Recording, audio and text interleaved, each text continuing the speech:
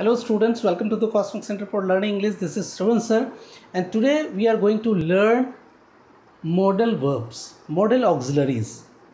ठीक है आज हम लोग मॉडल ऑक्सिलरीज और उसके यूजेस देखेंगे ऐसे सारे जो ऑक्सिलरी वर्ब है ठीक है all the auxiliaries verbs have been classified into two categories one is primary auxiliaries second is modal auxiliaries और मॉडल वर्ब्स ठीक है तो प्राइमरी ऑक्सिलरीज में कौन कौन आता है?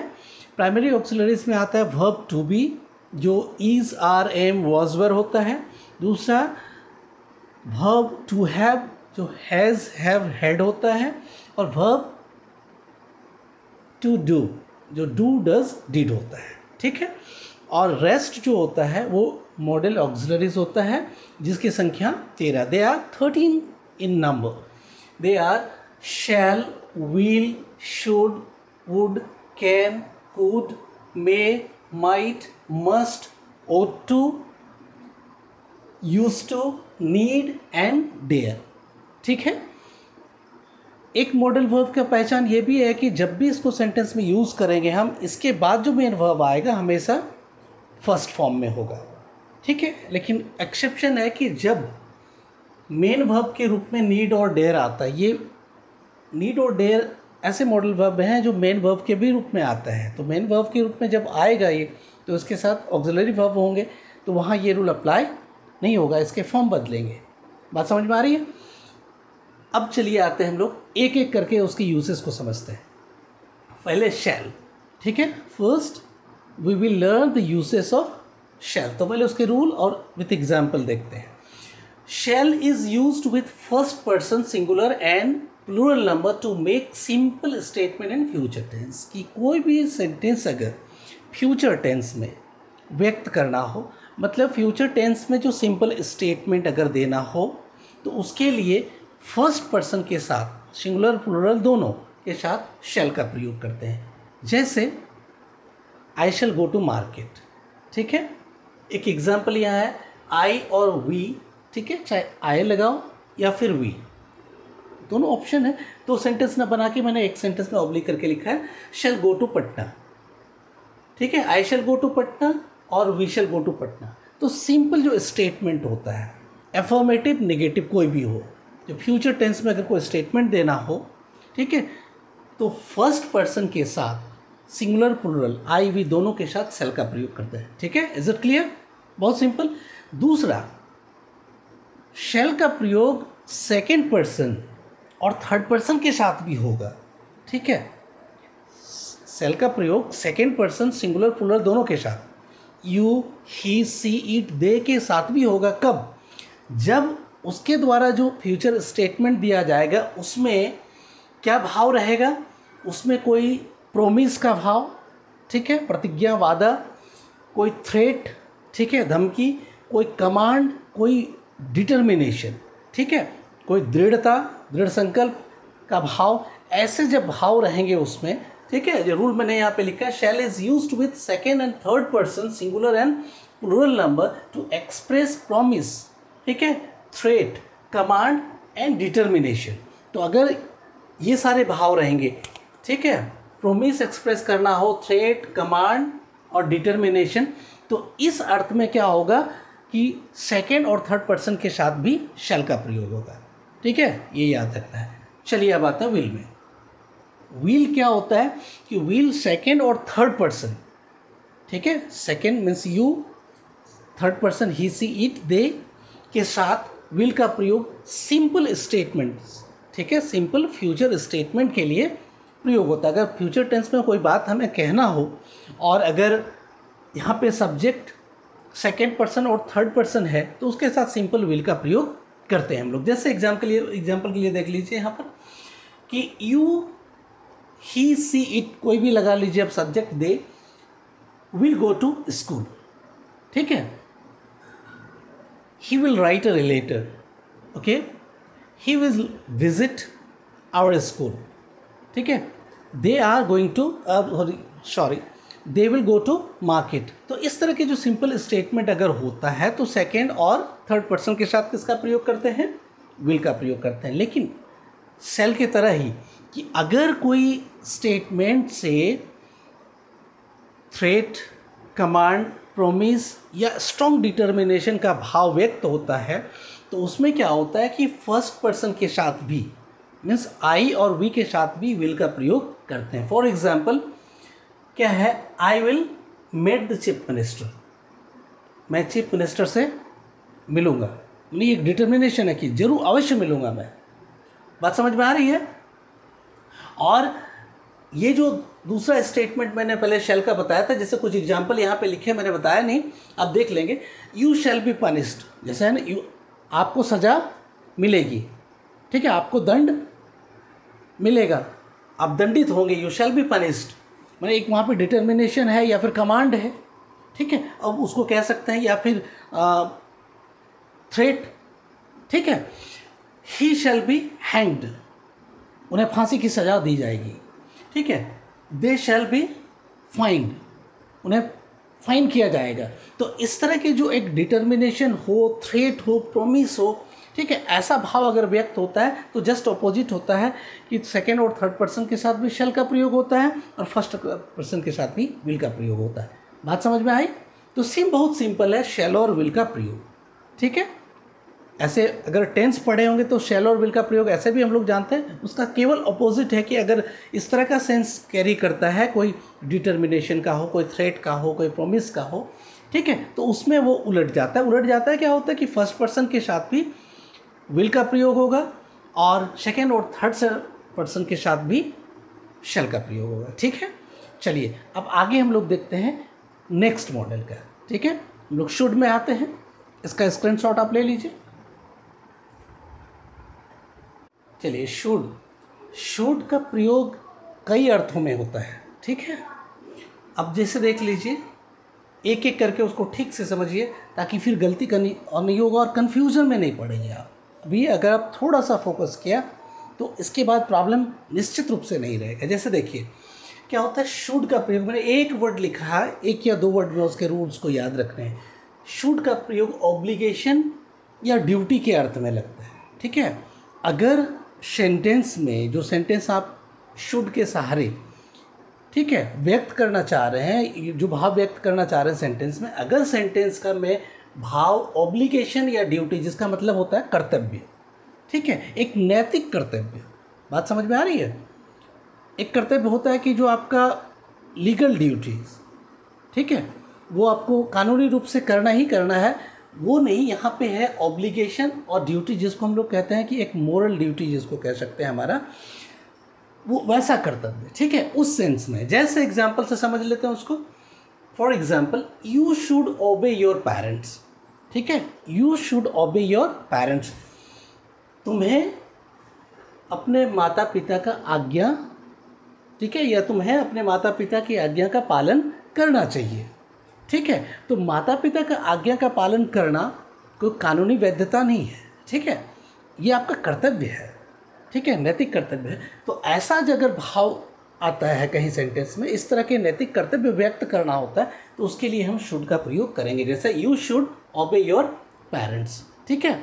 You should respect your teachers बात समझ में आ रही है? ये नैतिक कर्तव्य में आता है तो उसके लिए हम लोग शुड का प्रयोग करते हैं। इज़ इट क्लियर एक। दूसरा एडवाइस सजेशन हम लोग एडवाइस मतलब सलाह और सजेशन मतलब परामर्श। अब दोनों में फ़र्क थोड़ा जान लीजिए एडवाइस और सजेशन में क्या फ़र्क होता है?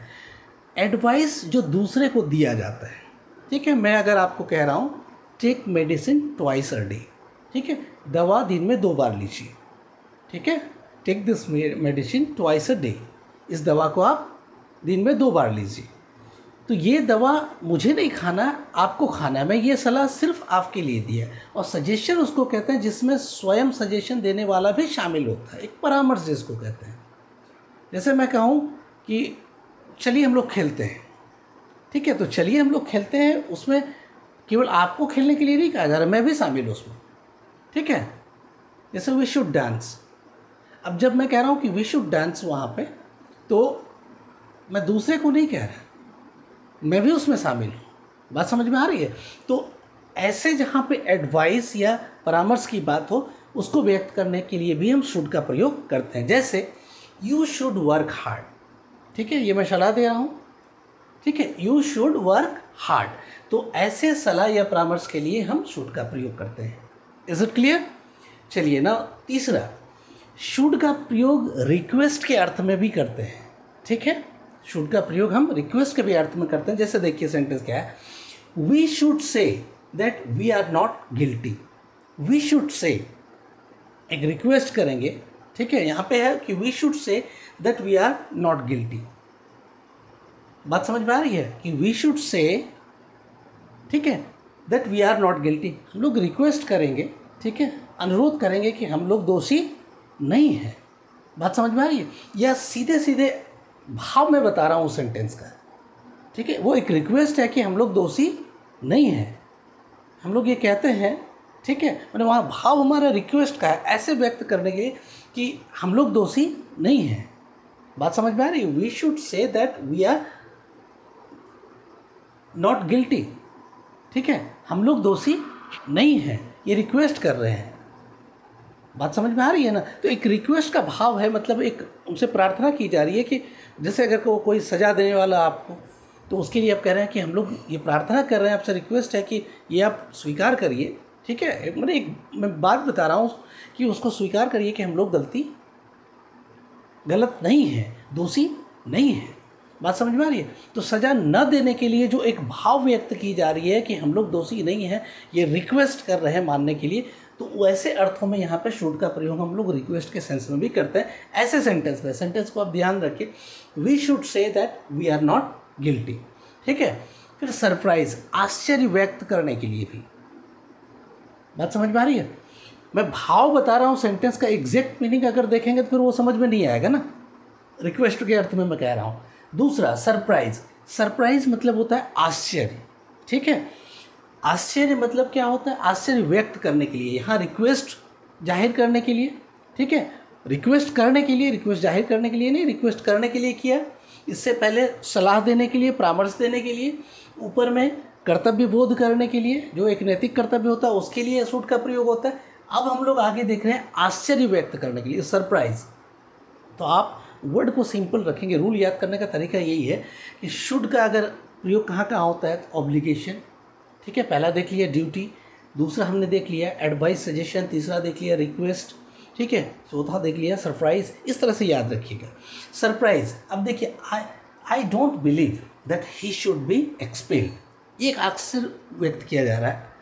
आई डोंट बिलीव मुझे यकीन नहीं हो रहा है उन्हें एक्सपेल कर दिया गया। ठीक है एक्सपेल कर दिया जाएगा। ही शुड बी एक्सपेल्ड ठीक है, मुझे यकीन नहीं होता कि उन्हें एक्सपेल कर दिया जाएगा। बात समझ में आ रही है? कि एक आश्चर्य व्यक्त किया जा रहा है तो आश्चर्य व्यक्त करने के लिए भी शुड का प्रयोग करते हैं। I don't believe that he should be expelled बात समझ में आई? आगे देखिए। सपोजिशन सपोजिशन मतलब होता है परिकल्पना। काश ऐसा होता। ठीक है, हम लोग कभी कहा, कहते हैं ना, एक जो हम कल्पना कर रहे होते हैं वो व्यवहारिक नहीं होता है, ठीक है? तो उस परिकला, परिकल्पना के अर्थ में जिसको सपोजिशन कहते हैं इंग्लिश में, देखिए, क्या हुआ? एग्ज़ाम्पल समझ लेते हैं। उसको व्यक्त करने के लिए मतलब परिकल्पना में व्यक्त करने के लिए सपोजिशन व्यक्त करने के लिए भी हम लोग शुड का प्रयोग करते हैं। जैसे देख लीजिए should he work hard he will succeed ठीक है? Should he work hard he will success अगर वो कठिन मेहनत करे तो वो सफल होगा। ठीक है। अगर वो. तो एक वो अगर ऐसा करेगा, कम संभावना है। लेकिन अगर जैसे होता कि अगर काश में भारत का प्रधानमंत्री होता, इस इस परिकल्पना में जो बात है, उसी तरह की बात यहाँ भी है। ठीक है? मैं होऊँगा नहीं। संभावना बहुत कम है, लेकिन अगर होता की बात है, उसी तरह यहाँ है कि शुड ही वर्क हार्ड। अगर वो कठिन मेहनत करे, ठीक है? तो वो सफल होगा। बात समझ में आ रही है? तो इस तरह की परिकल्पना के लिए। फिर है शुड का प्रयोग शेल का पास्ट की फॉर्म में होता है। ठीक है? शेल का पास्ट फॉर्म में होता है। जैसे देख लीजिए आई सेट टू हिम ठीक है? दैट देखिए यहाँ पे आप नरेशन अगर पढ़े हो, नहीं तो नरेशन भी स्टार्ट करने वाला ही हूँ जल्दी ही। ये इनडायरेक्ट स्पीच में है। ठीक है? तो इनडायरेक्ट स्पीच में देखिए I said to him that I should go to Delhi on Monday I said to him मैंने उनसे कहा, ठीक है, कि मैं मंडे को दिल्ली जाने वाला, ठीक है, जाऊँगा। जाने वाला मतलब जाऊँगा शुड का प्रयोग तो शेल के यहाँ पे शेल का प्रयोग होता है, चूँकि रिपोर्टिंग वर्ब पास्ट है, इसलिए सेल का यहाँ पे शुड हो गया है। बात समझ में आ रही है? ये शुड है शेल यहाँ यूज़ होता है, अगर रिपोर्टिंग भव प्रेजेंट में होता है। नरेशन अगर आप पढ़ेंगे तो फिर ये जान जाएँगे, और अगर आप पढ़ें तो आप समझ रहे होंगे कि अगर रिपोर्टिंग वर्ब पास्ट में है तो शेल का यहाँ शूड हो गया। तो उस शेल का पास्ट फॉर्म के रूप में भी शूड का प्रयोग करते हैं। तो एक बार फिर हम लोग रिकेपिचुलेट कर लेते हैं कि कितने अर्थों में शुड का प्रयोग फिर गलती नहीं होगी, याद भी रहेगा। एक सबसे पहले ड्यूटी ऑब्लिगेशन ठीक है? सेकेंड में क्या था आपका? एडवाइस सजेशन थर्ड में रिक्वेस्ट आप अभी याद कर लो। ऑब्लिगेशन ड्यूटी जिसको मॉरल ड्यूटी अभी मैंने बताया। दूसरा एडवाइस सजेशन ठीक है? तीसरा third request fourth surprise fifth supposition परिकल्पना, जिसको कहा कि अगर वह कठिन मेहनत करे तो वो सफल होगा। ठीक है? संभावना कम रहती है तो वो एक, जिसको हम कह सकते हैं कि जैसे मैं अभी बताया ना कि काश में यदि मैं इस देश का प्रधानमंत्री होता, काश में इस देश का प्रधानमंत्री होता तो ऐसा कर देता। तो वो जो परिकल्पना है, उस तरह की परिकल्पना के अर्थ में यहाँ पे है सपोजिशन के अर्थ में है। ठीक है, बात समझ में आ रही है? और लास्ट में शेल के पास्ट के रूप में शुड का प्रयोग होता है। तो आज हम लोग शैल व्हील और शुड तक ही रखते हैं, क्योंकि फिर ज़्यादा होने से समझ में नहीं आएगा, क्योंकि सेम अर्थों में दूसरे मॉडल का भी प्रयोग होता है। तो अब एक होता है कि उसमें डिफ्रेंशिएट कैसे करेंगे तो पहले हम लोग अलग अलग जान लेते हैं, फिर एक्सरसाइज में आएँगे तो वो डिफरेंस भी पता चल जाएगा। ठीक है? तो इस वीडियो को मैं यहीं अंत करता हूँ। चलिए मिलते हैं अगले वीडियो में। Good bye